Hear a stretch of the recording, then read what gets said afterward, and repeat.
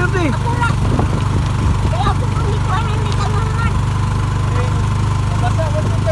Aku,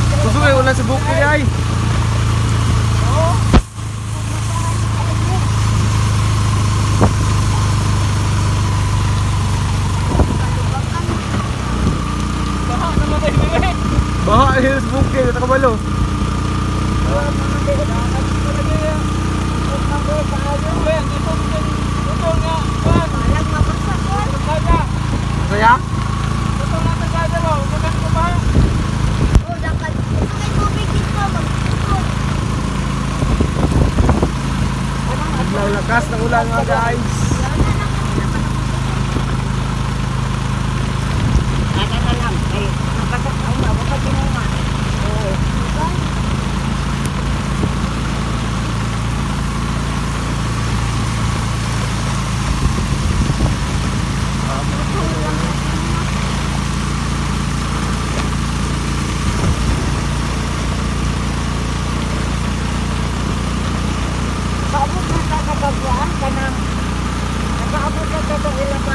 Wala ka? Wala? Wala ko sa ba? Sanggila? Ha? Wala pero... Ah, ada na sila, oo. Wala na siya sa tayo. Bawal-bawal ang manhida. Ayaw mo mo. Ako ba? Ako ba na wala mga simento? Ako na siya ba? Ang lakas guys.